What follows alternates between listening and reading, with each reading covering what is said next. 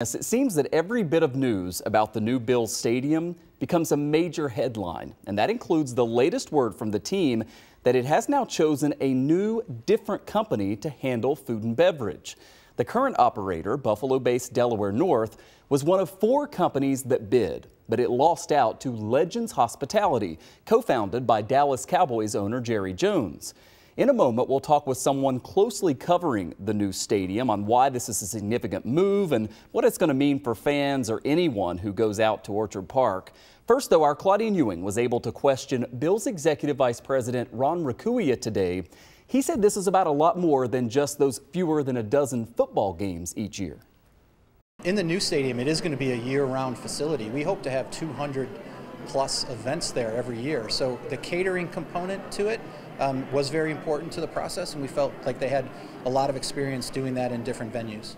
So we're talking about non-football events. We are. We're talking about community celebrations. We're talking about weddings, graduations, um, conferences, uh, tours. I know when I went to the new stadium in Dallas right after it was built, and you get to tour it, you get to have parties in the locker room. Is that what we're expecting to see here? It is. You know, we, have said from the beginning the new stadium's not going to bring a lot more ticketed ticketed events um, you know, to Western New York because it's just not conducive to that.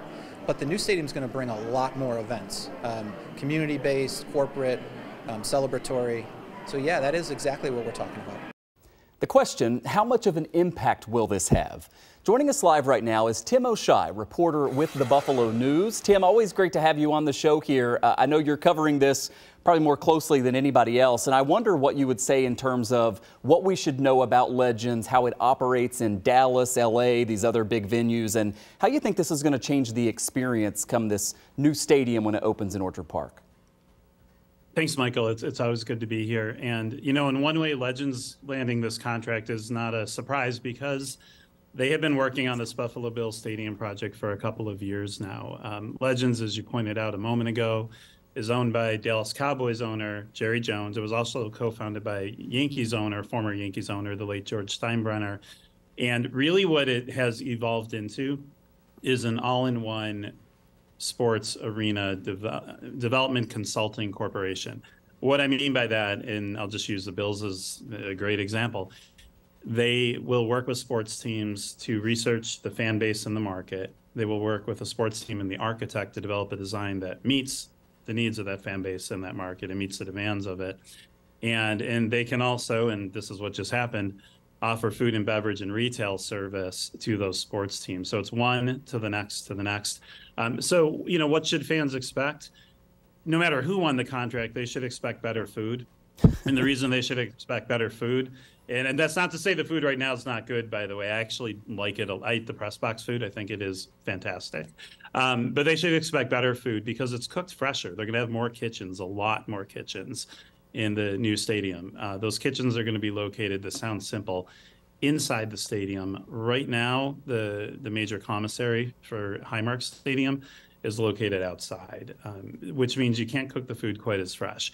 So anybody who won this contract, whether it had been Delaware North or Legends or the other two finalists, we're going to have the opportunity to come in and really elevate what Bills fans experience.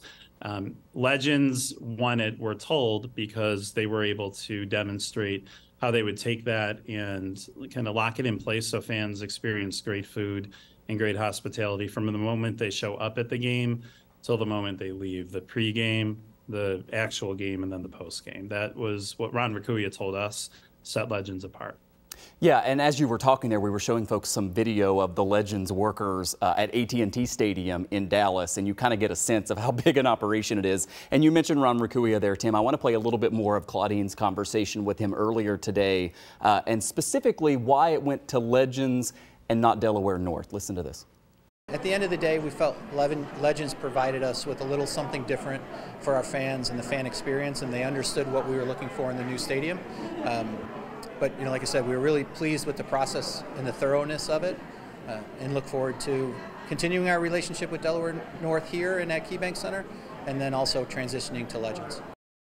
So, Tim, as someone who has covered this very closely, were you surprised that it that it was Legends here um, and not Delaware North, just because Delaware North is headquartered in Buffalo, long relationship, or does it just go back to what you were mentioning there that that Legends is involved in so many different aspects of this of this new stadium? The big I wasn't to answer the question straight. No, I wasn't surprised. I would have been surprised if um, Sodexo or Levy Restaurants, which were the other two finalists, if either of them had won it over Delaware North or over Legends, that would have been a that would have been a big upset. You could see where the Bills, and again, this is all from the outside. There, there's we can get into this if you want, but there's relationships and there's there's um, you know, you know who's been in on this project longer. There's a lot of details like that, but um, Delaware North has been in this stadium since I think it's 1992, over 30 years, as they pointed out today in their statement. Had they continued and been given the opportunity to do good work with much better facilities, I don't think that would have been a shock. It might have been a surprise to some, given how involved Legends is. Um, but no, because Legends has been involved in this project, because there is clearly a relationship uh, between Jerry Jones and the Buffalo Bills, and certainly legends in the Buffalo Bills. And what I mean by that is there is a working relationship. They have worked together to develop this stadium the whole way. Um, it's not surprising that Legends has been given this contract to just keep doing the work they're doing. Tim, um, in your article uh, that you published today in the Buffalo News, you talked also about the workers. And I, I, didn't realize this, but Legends had already taken over, I guess, some of the merchandising at, at the Bills Stadium store. And what happened was the, the people who worked there before just moved over to Legends. I mean, is the expectation is that that's what would happen here with the new stadium? It is. Uh, I mean, in general, it is. I can't say it quite that specifically, but um, but here's what we know. Uh, my colleague at the Buffalo News, Mike Petro, who covers sports business, uh, wrote a great piece um, a few weeks back. I think it was it was earlier this spring, maybe in March, about the transition of the Bills store from Delaware North to Legends. Um, and all of those are, or almost all, I think it might have been all of those employees from Delaware North who worked at the Bills store shifted over to become Legends employees. Now we're talking, I'm not sure exactly how many people we're talking, but it's like dozens, not hundreds and thousands, like we're, you know, as would be the case with the food and beverage contract. Um, but I have talked to Legends in, in more detail, and what they told me is, you know, in the end, they are going to have 2,000 or so game day employees. They're going to have about 30 full time executive employees. This is all by 2026 when the stadium opens. Um, when that happens, they're expecting a lot of those 30 employees, those executives, to have ties to the Buffalo market or be from the Buffalo market. And, you know, as you would suspect, those 2,000 game day employees will be almost exclusively people who are already in Western New York.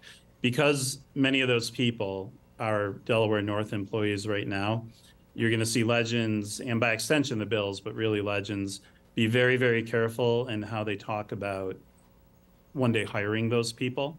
Um, but when the time is right, when they are able to do it, you can be assured that's what they're going to look to do, at least for the part-time employees. Executive positions are obviously, um, you know, far more competitive, but um, people people here who have great culinary experience and think they could do a good job with it. Um, Legends has told me, you know, those are the kind of people we want to talk to. Yeah, absolutely. It might not seem like a big deal who got the contract to do food and beverage at the Bill Stadium, but as you know, everything having to do with that new Bill Stadium draws huge interest. So Tim O'Shei, reporter with the Buffalo News, uh, thanks for, for helping us understand your reporting. Thanks, Michael.